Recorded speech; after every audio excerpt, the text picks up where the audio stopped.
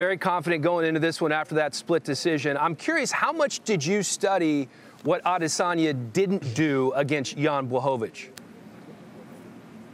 you know, they keep asking me, asking me this question. You know, I'm a very different fighter than Jan Blachowicz, but definitely that fight was the confirmation of a lot of things that I already knew. This guy's nothing special. I'm going to go out there and just put it on him like I did it with the with all these other guys and just dominate from from the first second. You know, from the get-go, I'm going to be looking like I'm the champion. You know, and I'll be and I'll definitely be champion by the end of the fight.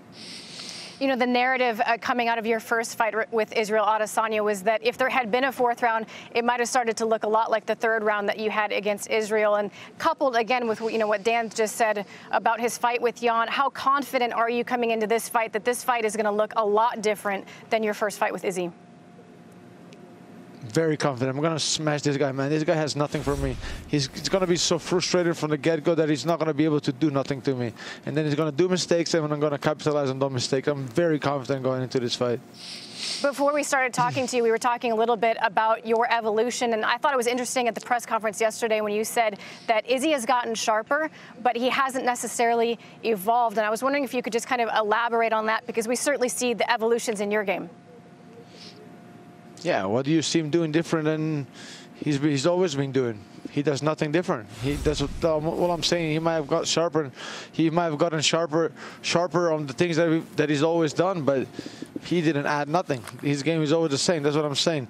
And uh, when they talk about me, they're so off track, and I love that. I don't even want to, you know, I don't want to even tip them, give them tips on on how they should think because you know they're gonna find out in the cage. Marvin, you fought Kevin Holland just nine weeks ago. Um, to me, I felt like that was a blessing in disguise to be able to get that fight with a guy who is long and rangy and, and can fight from a distance. What did you take away from that fight, fighting him? Yes and no, because man, Kevin Holland is just a weird guy, and he doesn't play by the rules at all. So it was actually like, yes, good, you know, orthodox guy with like a very long reach, but you know, it's it's really it's it, it's a very different game than than than Israel has. But you know, still, man, you know, like I knew going in, I have to stick to the fundamentals. I'm just the superior fighter. I can mix it up better. I have the more uh, complete uh, skill set, and there's nothing that, there's nobody that can match that. Now you are by far one of the most intense guys in all of MMA. I remember when you were fighting Karl Roberson and he pulled out of the fight. You were still in the dressing room working out, still mad at him. Where does this intensity come from?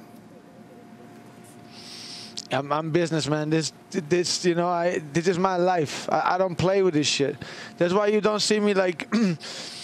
if it's outside or things like this, you know, like when it gets like in those situations where I can get pulled from the fight and things like this, I'm not gonna risk it. You know, you're not gonna see me punching the guy in the in the press conference or things like this. But like, I want to eat him with my eyes when I see him. I want to I want to look through his soul and just eat him, like just like like tame this motherfucker. Like that's what I want to do. I want to eat him alive.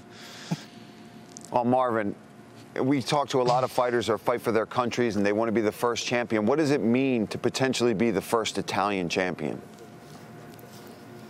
Everything, man. Like I've been doing this for me, for my family, and, and, and for my country. Like you know, like I was saying, you know, oh, how many people, you know people ask me how many you want to prove you want to uh, prove people uh, wrong, but it's actually about proving people right. Like all the people that have been supporting me all, throughout these years, like that's what I want to. That, that's why I do it the most. Like you know, my mom. Like I, lo- I, I left my family all for this. You know, and it's been years and years and years of hard training, like uh, and, and, and, and, and like blood and tears. That you know, I have to.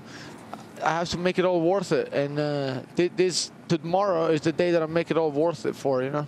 Absolutely, Marvin. And, you know, we've seen some bad blood in the UFC. We see it all the time. But there's some, seems to be something about Adesanya to you that you just can't stand. We talked to you in the meetings and asked, you know, will it be all hashed out after this fight? And you were a little reluctant. Like, listen, yeah, it's, not, it's going to be no bad blood, but I'm still not going to be that guy's buddy. What is it exactly about oh. Adesanya that drives you so crazy?